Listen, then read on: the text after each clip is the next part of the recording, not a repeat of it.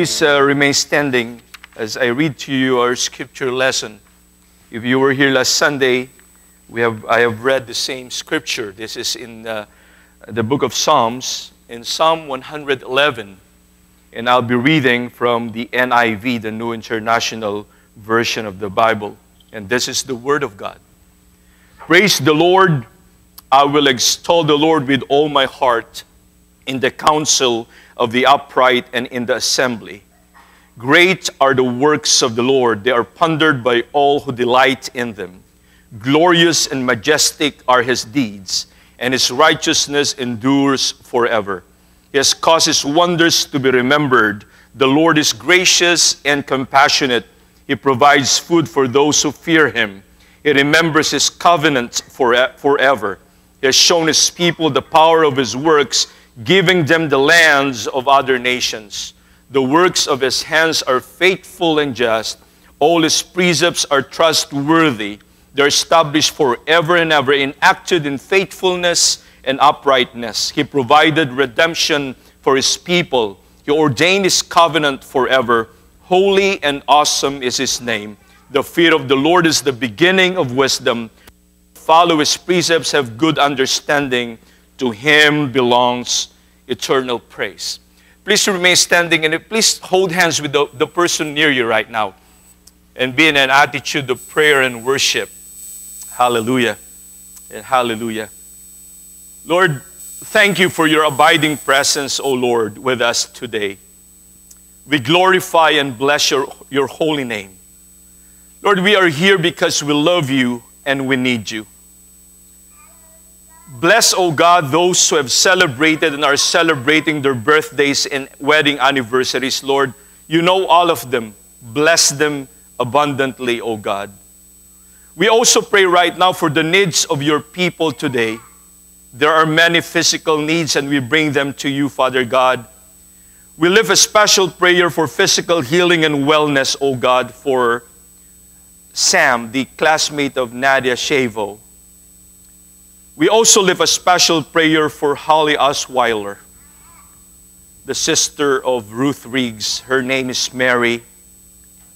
The brother in law of John and Jeannie Lance, dog, Sue Shavo, Dennis Whitehead, the father of Drew, the sister of Cheryl Neal, her name is Linda, Tate Schaefer, O oh God, and Shane Mulnix. Lord, we also live a special prayer right now for Dan Beckler and family, O oh God, because Lord, as, as their mother is now with you. She's now in heaven. And also, Lord God, for the family of Mike Steckley, oh God. We know, Lord, that uh, his dad, Lord, is now with you too in heaven. And we have the assurance, oh God, oh God, that we will see them again as promised through your Son, Jesus Christ, our Lord and our Savior. Lord, as we celebrate Labor Day, we pray, Lord, for those who do the dirty works in our lives. Lord, those who break their backs for us, those who are cheated out of even a minimum wage, those who have no access to health care, and those who cannot afford to send their kids to college. Help us, O Lord, to bind together as a community, as a nation, because you gave one another to us for our existence, O God. The garbage men, the police officers, the stock people in our grocery stores, the UPS driver, the pilots, the grocery store clerks, the plumbers, the accountants, the bank tellers, the landscapers, the lifeguards, the doctors, the lawyers, the nurses, the cooks, the waiters, the steel workers, the carpenters, the dietitians, the farmers, the scientists, O God, and others, O Lord. Help us to realize this Labor Day weekend, O God, how dependent we are on one another, O Lord. And we are one, we are family. We need each other. May we give thanks for each other, O God, this Labor Day. Help us to celebrate and give thanks for each other and appreciate the value, O God, the dignity, the contribution that each one makes to keep our country and our community and our lives going. Lord, we pray right now for the whole world, all Christian, Christian missionaries around the world. And those, oh God, Lord God, people in places where there is war and terrorism, oh Lord, and even severe poverty. Lord, bless our nation, our leaders in government, the men and women in our military, all police officers, and emergency responders all over the country and even in this community. And right now, oh God, as, as one family of believers, we are lifting up right now, Lord, the victims of the recent, recent shootings, oh God, in Texas. Lord, bless your children and your people in that place and that community, Father God. Be with us, O Lord, as we worship you. We surrender everything to you. Bless all the families represented here today, exceedingly and abundantly. Lord, without you, we are nothing. We love you and we need you. All this we ask in Jesus' mighty name. And everybody will say, Amen and Amen. Praise God. You may all be seated. Hallelujah. Hallelujah. I have decided to uh, open my one of my uh, books about church jokes. Yes, before I, I share the message of uh, the Lord today, and this is a story from page 174 of this book, and it says, one day there was an ecumenical assembly in a particular town here in the United States. And they decided to do it in the town community center. And praise God because there was one police officer who was there on duty to guard that ecumenical service. When we say ecumenical, uh, all um, members from different, all people from different denominations come and assemble together. And so during that fire, uh, during that uh, assembly, the, the officer, the police officer who was on duty to guard them, he rushed in shouting as they were gathered as the uh, ecumenical service assembly was, was going on. The police officer shouted, The building is on fire. Well, there were Baptists who were there the Baptists wondered where they could find water. Because for them, water is very important. And the Quakers who were there quietly praised God for the blessings that fire brings. There were Pentecostals who were there, and then they started to speak in tongues and waited for the Holy Spirit to tell them what to do. There were Lutherans also who were there the Lutherans posted a notice on the door announcing the fire was really evil. And there were Catholics who were there. The Roman Catholics, they passed the plate, the offering plate, to cover the cost of the damage. Mind you, there were Jews who were there also. The Jews posted symbols on the door with the, the blood of a lamb, as it was in the Old Testament, in hopes that the fire would just pass.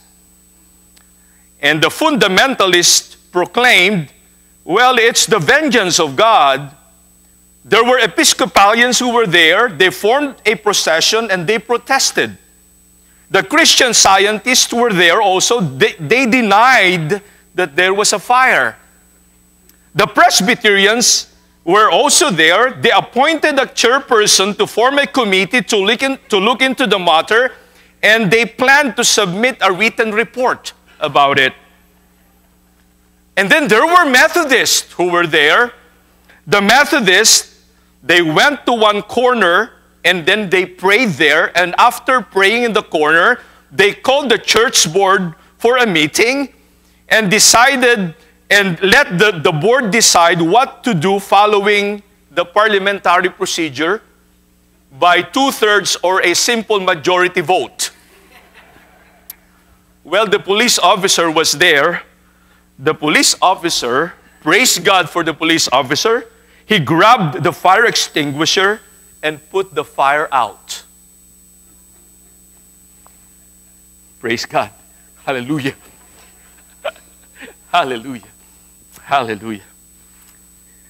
Let us pray again. Let us pray again.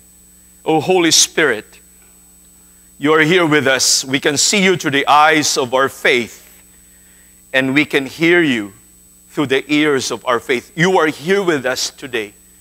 Your holy angels are here with us today, Father God. And thank you for your holy and abiding presence. As your word is preached, O God, we take victory in the mighty name of Jesus and fill us all with your holy presence, Lord, and open every heart and every mind present here today to the truth of your word. We bring back all the glory and praises to you. In Jesus' mighty name we pray. Amen and amen. Praise God. One of uh, the things that the ancient Israel remembered was Israel's deliverance from slavery to Egypt. If we will look at the context of Psalm 111. And this was remembered every spring with the feast of the Passover they would commemorate the Lord's miracle of deliverance, of their deliverance from slavery to Egypt. From, from slavery in Egypt as they were led by the Lord to the promised land. And, church, as, as Christians, as present day believers, we take time to remember the marvelous works of the Lord every moment of our lives, most especially when we come together, when we assemble together and praise and worship God together. If we will go back to the book of Psalms in our text today, verses 5 to 9 talks to us about the provisions of God. Again, in verse 5, we are drawn back to the, to the Exodus. The Lord provided food for them. And He provided manna in the, de- the desert for the Israelites. And in fact, this mysterious food appeared every, from, from, every day from Sunday through Friday for 40 years. For 40 years. From Sunday until, until Friday. Saturday is not included because that's their Sabbath. They will, they will go and worship the Lord. They are not to gather any food. They are there, they, they need to, to, to come and worship together as a, as assembly of God's people. And then in verse 6, the Israelites are reminded how God brought them to the promised land and God gave, gave them the inheritance that He had promised, and He gave them Canaan, the promised land. And praise God because God provided for their entire journey for 40 years. Hallelujah. Now, brothers and sisters in faith, I would like to ask you this question How quick are we to thank God for His provisions? Do, do you ever pray before you eat?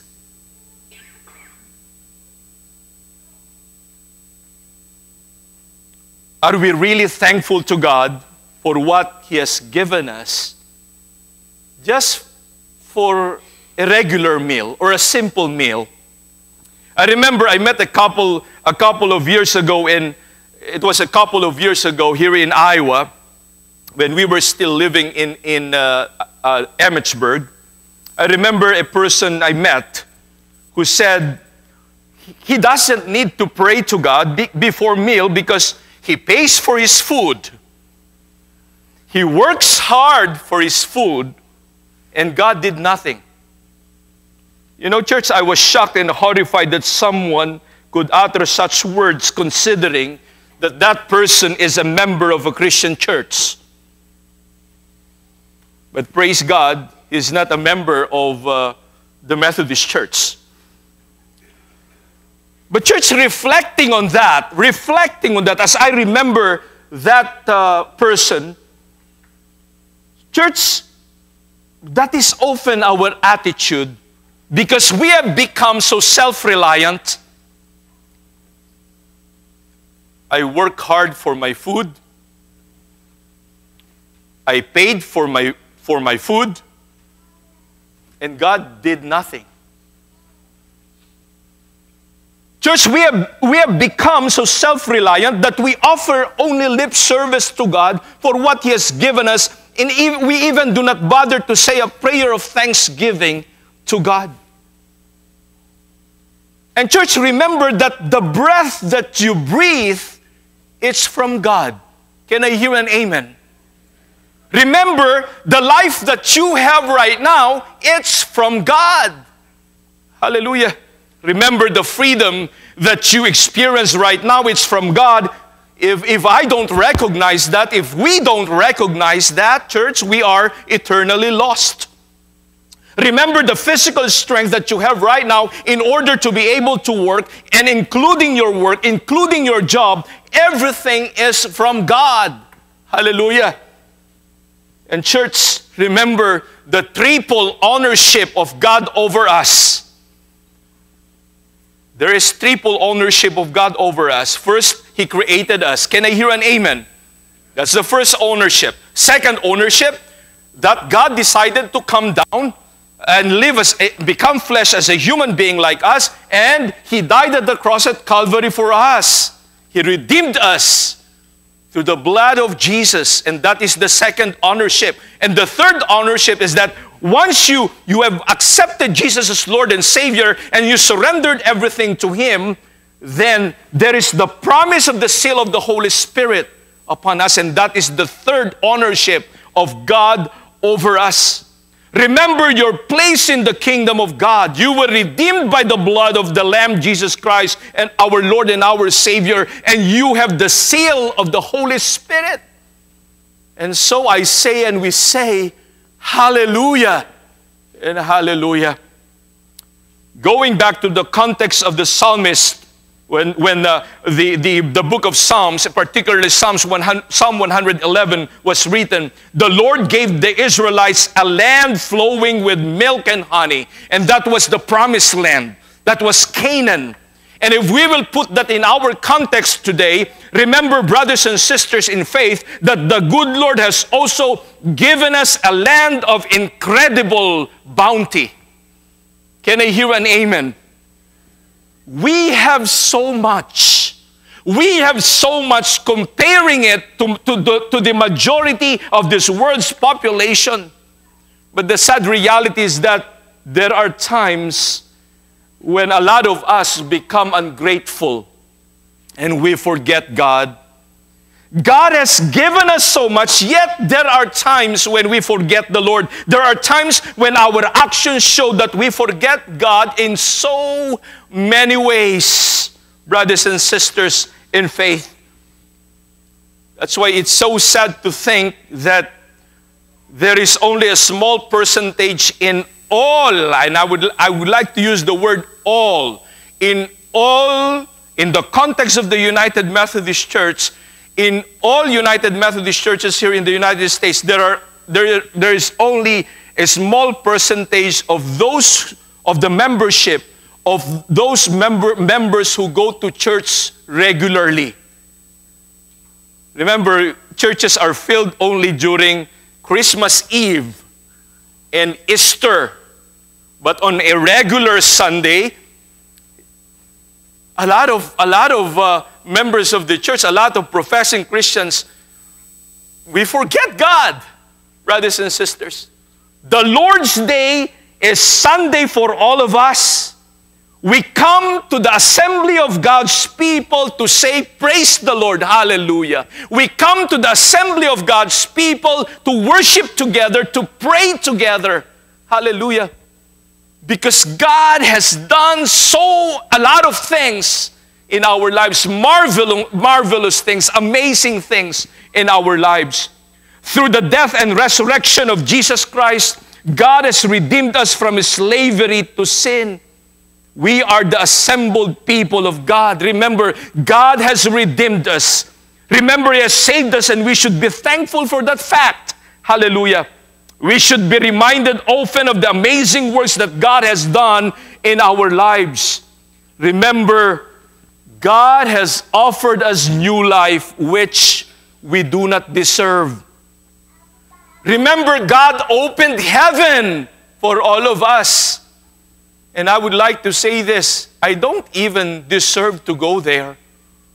We don't deserve to go there because of our sins, brothers and sisters. Because if you, you read the Word of God, Romans 3 23 says, We are all sinners, all fall short of the glory of God. In other words, we do not deserve to go to heaven, but God opened heaven for all of us. Hallelujah. And hallelujah. God has sent His only begotten Son, Jesus Christ, Jesus Christ, to save us, and we should give heartfelt thanks, praise, and worship to the Lord. That's why the psalmist said, He gives thank, give thanks with his whole heart.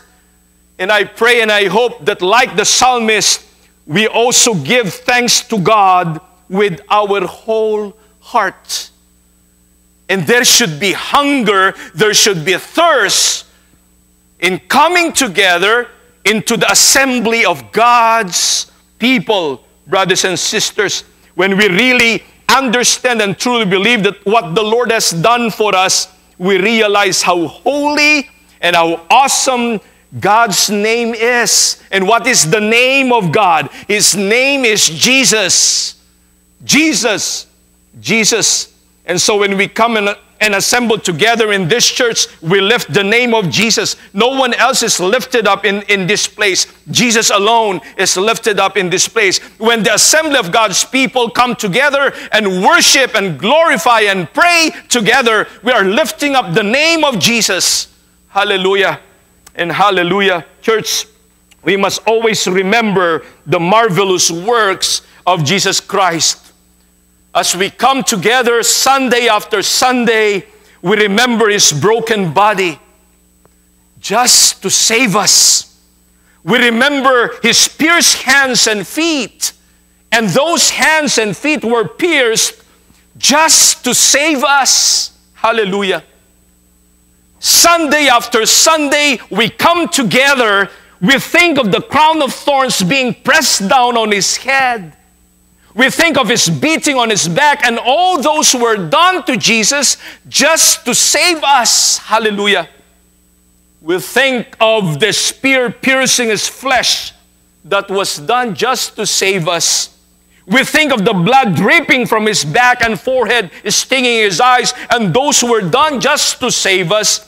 What Jesus did at the cross at Calvary was the greatest work that God has done for us. His sacrifice and His death at the cross at Calvary. Hallelujah. We think of someone who did absolutely nothing to deserve that. When we realize that, church, we can begin to understand what Jesus went through for us. And all were done Everything was done to Jesus because He wanted to save us. Hallelujah. He wanted to save us from the wrath of hell. Without Jesus, without Jesus, this person in front of you surely will go to hell. Without Jesus, all of us and I would like to say this I don't sugarcoat the gospel.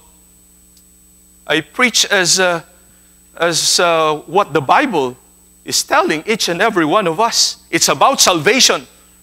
And what is salvation? Salvation from the wrath of hell, salvation from eternal punishment. I don't, we don't deserve to go to heaven, but God opened that for us through Jesus Christ. Can I hear an amen? And every time we come, we come to this church, as you face the altar, what can you see? You see the cross. You see the cross. And this is a symbol of the sacrifice of our Lord and Savior Jesus Christ. His death and suffering at the cross at Calvary. Why did He do that? Just to save us. Hallelujah. When you come to church and you see the symbol of the face of Jesus, hallelujah, and those eyes are looking at you, church, He's telling us, I have died for you just to save you. Hallelujah and hallelujah. Church, the greatest thing that that God has done for us was when more than 2,000 years ago, He decided to come down and He lived as a human being like us and He went at the cross at Calvary and He died for all of us. Hallelujah. Just to save us, to give us eternal life and a wonderful place in His kingdom, even if we do not deserve it. Church, when you truly remember all of this, you will always be led to come before God more and more, thankful more and more, worshipful more and more, praiseful more and more.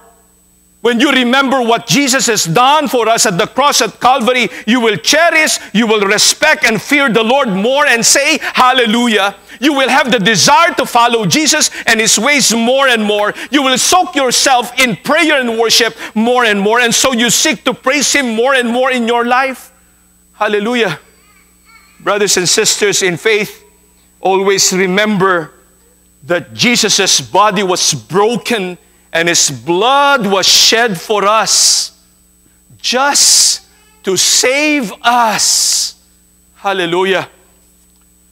In our text today, verses 7 to 9, it says, This is the word of God. It says, The works of his hands are faithful and just. All his precepts are trustworthy. They are established forever and ever, enacted in faithfulness and uprightness. He provided redemption for his people. He ordained his covenant forever. Holy and awesome is his name. Hallelujah and remembering what Jesus has done for us at the cross at Calvary, you come before Him more and more. You come to worship Him more and more. You come to praise Him and give thanks to Him more and more. You delight in His name more and more in the name of Jesus. And you believe, and you know and you believe that without Jesus, you are nothing. Without Jesus, you are hopeless. Without Jesus, you are eternally lost. And remembering what Jesus has done for us at the cross at Calvary would lead us to be more thirsty and to be more hungry of worship, of going to the assembly of God's people. There is thirst and there is hunger for fellowship. Can I hear an amen? There's a thirst and hunger for going to church and worship together with the assembly of God's people. And you know, church, the promise of Jesus is this. If we continue to seek and glorify Him, surely we have an awesome place in the kingdom of God. Hallelujah. And when God looks at you, when God looks at me, He doesn't see Louis. He doesn't see Haven. He doesn't see Logan anymore. But God sees Jesus. Amen. He sees Jesus. And that is our ticket to heaven. Jesus. Jesus. John chapter 14, verse 6, Jesus said, I am the way, the truth, and the life. No one comes to the Father but by me. Brothers and sisters in faith, where are you right now in your relationship with God? I know that uh, uh, this uh, Labor Day, you will be uh, having fellowship with your friends and your family. Am I right? You will see family, you will see friends. Just before you, uh, you come together and before sharing the meal with your family, pray together. Amen. And thank God together. And I tell you, the Lord will bless you exceedingly and abundantly. Every good thing in your life comes from the Lord. Amen. Every good thing, all good things that you experience in your life, they all come straight from the Lord. And we need to be thankful of that. And above all, let us thank God for our salvation. When that God decided to come down and died for us more than 2,000 years ago, and that God's name is Jesus and Jesus said, Do not let your hearts be troubled. I will go and prepare a place for you, so that where I am, there you may also be. In the name of the Father, and of the Son, and of the Holy Spirit. Amen. And Amen. Let's give the Lord a round of applause. Hallelujah. And hallelujah. And hallelujah. Before we